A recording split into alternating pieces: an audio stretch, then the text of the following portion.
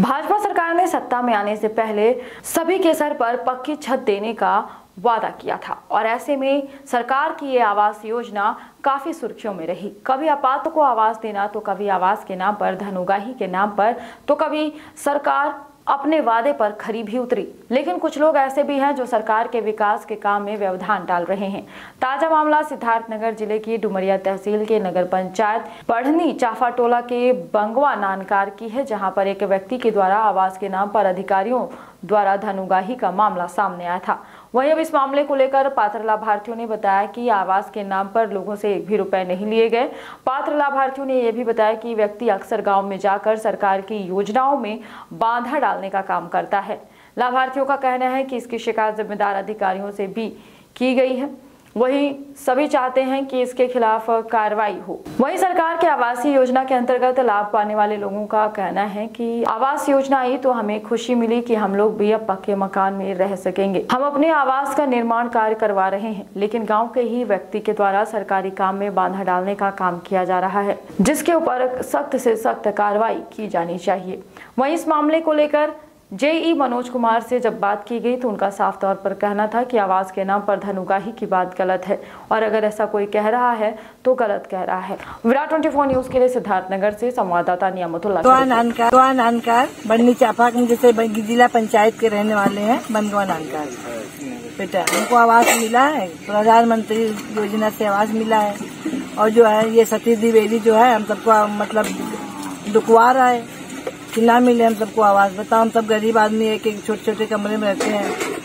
और जो ऐसे खुरापात कर रखा है ये तब तक आ जाता हमारा सबका दूसरा आवाज़। भैया ये सब कह रहे हैं कि मतलब हमसे आवाज़ लेने पैसा लिया गया है? लेकिन हमसे कुछ भी नहीं पैसा लिया गया है।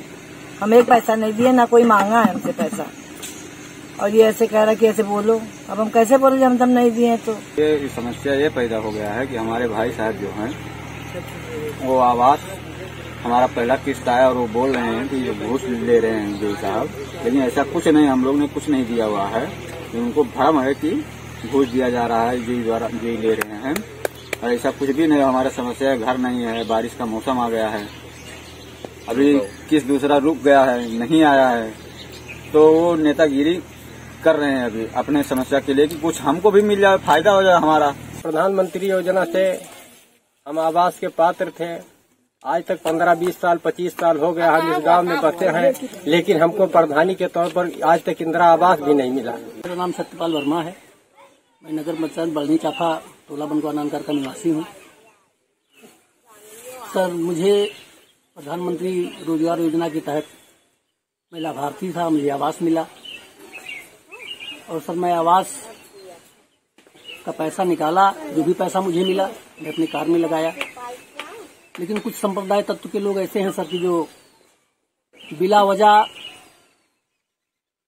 सभी लोगों के ऊपर ये आरोप लगा रहे हैं कि पैसे का दुरुपयोग किया जा रहा है। वो लोग पात्र नहीं है अपात्र हैं।